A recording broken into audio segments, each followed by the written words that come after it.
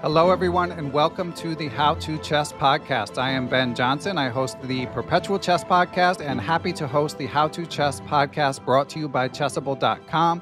And we have a special guest joining us for this episode. He is a beloved commentator, an author, a prolific Chessable course creator, including the Iron English, the Killer Dutch Rebooted, The Art of Attack in Chess. He is known to many as the Ginger GM, also known as Simon Williams. Simon, of course, is known for his attacking chess and his unwavering support of Harry the H pawn. And today we're going to tackle a question that is perfect for Simon to address, which is when to attack and when not to attack. So we'll be diving into that topic momentarily. But first, let's welcome Simon to the show. Simon, how's it going? It's going well, Ben. Uh, thank you for the lovely introduction there. Um, yeah, it sounds like I've been busy there with that introduction, so all good. And uh, it's it's nice to be uh, here with your with your little section on how to attack. Thank you. Yeah, extremely busy, pumping out the content. So we're privileged to have you join us. And without further ado, we're gonna dive into my little list of questions. And one thing I want to say, um, but actually before we we get to those questions is just i've even noticed in my interactions with club players that they tend to have they tend to lean one way or the other basically they either want to attack all the time to a man with a hammer everything looks like a nail or they're a little timid so I think this is a great topic to sort of give some guidelines of how to have the proper balance that strong players like yourself often do, Simon, although you might tilt a little in the attacking side. but anyway, without further ado, let's dive into the questions and let's start the clock. So, Simon, let's just start off with general guidelines, a few tips of when might be a good time to attack. Yeah, but I think uh, a big mistake that a lot of people do, no, no matter really what strength, but lower down, is attacking when it's not the position does not demand you're able to attack. So you've got to build up foundations in any attack, so any position. So that means really positionally, you've got to have a strong position in order to have a successful attack. There's no point just wheeling out one or two pieces at your opponent's well defended king because it's only going to fail. Um, so you've you've really got to build up your position, and positional chess is really important for attacking. So you've got to gain a better position normally in order to be successful. So you've got to have patience um, in order to attack. And one of the things I see a lot is people are trying to force it from move one uh, to get in there. And of course, there are lots of gambity lines you can play, which are absolutely fine. And you know, I, I suggest some of these, but you've really can't always attack. You've got to have the right position and you've got to build that position up first. Um, other things to watch out for are, you know, just your development. Do you have more developed pieces than your opponent? And look out for any key weaknesses that your opponent might have. So it's very hard to do a successful attack against a well defended opponent's king. But if his opponent, if your opponent has moved his pieces away from his king, he's got something, a weak point around his king, in the Chessable course art of attack I did, uh, I, it was called the focal point. So like maybe the G7 square is suddenly a bit weak, or you know it's the pawns move forwards from G7, but the fianchetto bishop has disappeared. The, these are the kind of things you've got to watch out for, and that will help you decide what square to attack on. And then you've got it's all about timing. So it's building up the attack and uh, noticing these weaknesses and timing it perfectly. Uh, so there's a lot of things to think about, um, but it, it really is a combination of positional chess first, which you've got to remember. So, Simon, that's great advice. Of course, uh, attacks are only likely to work if you have a solid positional footing uh, that that you're um, basing them off of. Now, one other thing that I think comes into play when you're thinking about uh, when whether to attack is how you're doing in the game. If you're up a lot of material, down a lot of material, how does that enter into the equation, Simon? Yeah, I mean, I, suppose there are different times when you attack. If you look, if you go back and look at how uh, attacking chess has really developed um, from the first strong players, and I'm going to say the first strong players. Let's look at Paul Morphy.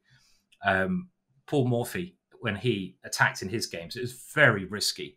So his attacks were a little bit outrageous, and in modern day chess, they'd probably fail um, opponents are much better at defending, but in his time, he'd go all in.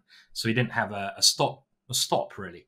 But then I would say the next person who really revolutionized attacking was, and there were others, but it would be Alexander Alekhine.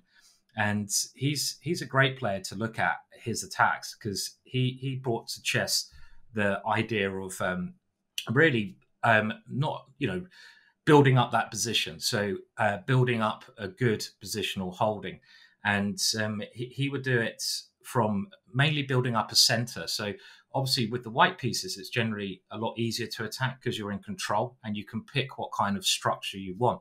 And if you want to be a great attacking player, it's it's not really about the opening. The opening with any aspect of chess is just a way to get you into a game, into a position that you enjoy playing. So structures that you enjoy playing. When you're white, um, you should be able to pick structures that you enjoy. So you know you want this kind of position. I'm playing this opening to get to this position. And then if you know the attacking plans, you can dive in from that. And Alekhine was brilliant at this. When he played d4, he would play very patiently. He could take control of the center, and then he would attack in a risk-free manner. If it didn't work, he wouldn't lose. Um, so these kind of attacks are the best attacks when you build up your position and you do it very stably. And you can look at your pieces. You don't.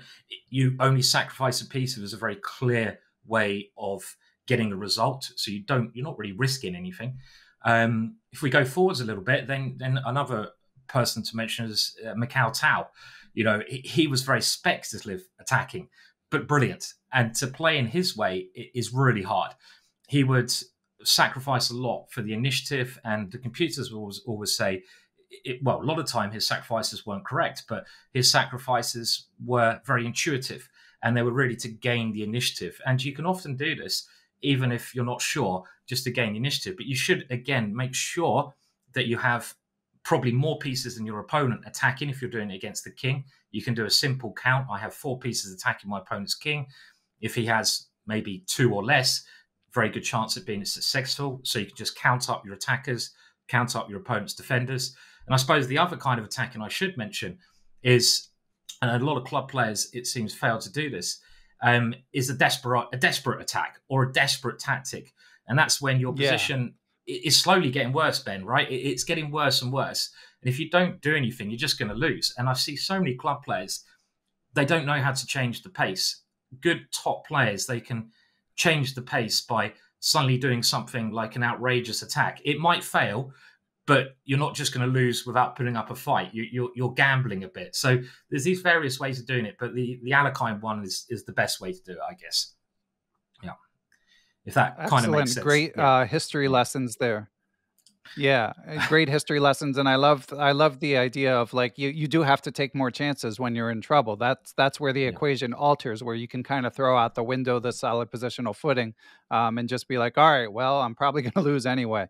Now, Simon, so you've given some great advice for if you're trying to sort of ramp up your attack, but you also encounter, or I also encounter the sort of swashbuckling club player. They might emulate a player like yourself, see you sacking all over the place, and just try to do it in every situation. If someone has that sort of disposition, are there great players whose games they can study to try to sort of rein it in a little bit?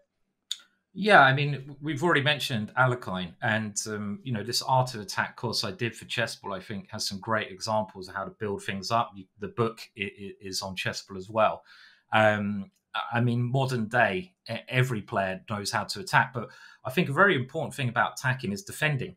Because um, you, a lot of attackers, you, you've got to try to always assume your opponent's going to play the best defensive moves. So by looking at defenders, you'll learn how to attack better when they're going to be successful or not. Uh, I mean, nowadays, you know, all top players can do everything. But you look at Kasparov, obviously brilliant attacker. It probably more in the way of using the initiative well. When he got the initiative, he he was really relentless. That's another sort of form. He, you don't want to back down when you start pushing. As soon as you lose that energy in the position, you're probably gonna your position is gonna crumble. So look at how Kasparov uses the initiative. Um, and I, like I say, the, these these ways of building up, Alekhine I do mention, um, and nowadays just um, well, you know, there's some there's some very funky players, aren't there? Like Dubov, who um, plays very extreme stuff to confuse his um, high-rated opponents to to gain the initiative, even if it's computer dubious, which a lot of his ideas are. It's more to gain that initiative and then to again be relentless in trying to push that through. So there's some names off the top of my head I can I can sort of think of. Good stuff. Yeah. Um, Alekhine, it's interesting that whether you attack too much or you attack too little, you can study his games to learn the proper pacing. And Dubov, of course, is one of the most fun modern players. Uh, no, no argument there. Now, Simon, let's hear a little bit about Baby Ginger GM. When you were up and climbing the ranks, uh, I'm guessing you had an attacking instinct. What was your own development like in terms of uh, learning the the proper pacing? Um, it's quite strange for, for, for me actually. I, I, my play when I was a lot younger was quite positional.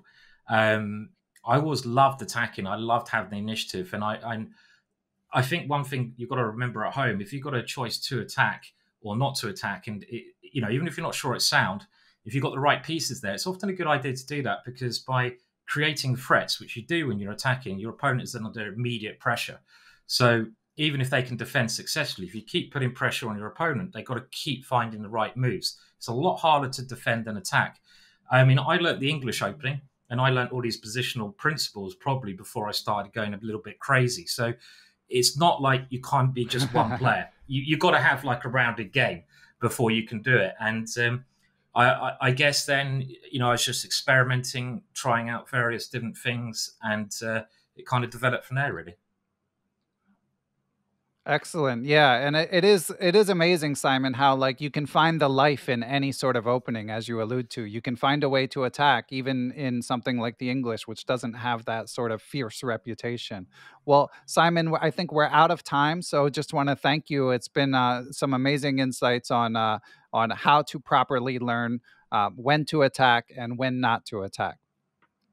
Thanks, Ben. It's been a lot of fun, um, and yeah, good luck to everyone out there wants to hack up their opponent's king. So excellent. And we are back with the three chess improvement takeaways. Now, for number one, I was trying to remember a famous chess quote relating to the principle that Simon mentioned that if you're going to attack, you need a, a, a, sound positional footing. And neither Simon nor I could track down that famous quote. So we're going to turn this into a contest. If anyone can find the famous chess quote, about chess attacks springing from a good positional setup. Um, it's by a former world champion, we're pretty sure. If the first person to leave the quote with attribution in the YouTube comments will win a free Art of Attack chessable course, of course, featuring Simon Williams. So we're going to throw that out there. But meanwhile, my number one improvement takeaway, as Simon says, as Simon says, is um, to Make sure you have the positional characteristics in place before you launch an attack, which brings us to takeaway number two, which is related, which is often your attack is a lot more likely to work if you have more attackers than your opponent has defenders in the neighborhood of the king. Um, I've heard a quote called the rule of two, basically meaning if you have two attack two more attacking pieces than your opponent has defenders, an attack is more likely to to succeed. You'll also see famous games of players like Kasparov, like Simon mentioned, where like there's just an uh, extra pieces on one side of the board, and therefore Kasparov is able to just swamp his opponent on the side where the king is. So definitely keep that in mind. That material, the the actual material isn't everything; it's the material around the king. Um, and last but not least, you could hear Simon when he talks about the legends of chess, how much work he's put in learning from players like Alekhine and Kasparov. So study the legends, Alekhine in particular, about ways to build up an attack and know when to pounce. But I did just want to throw in the caveat that if you're down material, you don't have to be on such a solid footing. It's okay to take a few more chances. So some great insights um, from Simon. And Simon, I understand that you have a quote to share before we uh, let you out of here. Yeah. yeah, I mean, uh, we did mention that different players have different personalities. And even if we look at the world champions, some of them preferred attacking to the others. Some of the attacks were much more dubious than others. And uh, I think it was Botvinnik, who was a very sort of solid player, generally very well prepared, who said that if Tal sacrifices a piece, Take it. If I sacrifice a piece, think well and then decide. If Petrosian sacrifices a piece, resign. and I wonder which camp most of the viewers will be in at home if they're going to be the Tal-like, um, you know, sacrifices. But you do, if you're, you've got to sort of look at your own game as well. And the last thought I'd say is just look. If you're playing too solid, loosen up. If you're losing too many pieces, games through sacrificing, tighten up a little bit. It's just you've got to make that judgment as uh, you know as it's your own game. Okay, an excellent note to end on. So Simon, thanks again for joining How to Chess. Thanks.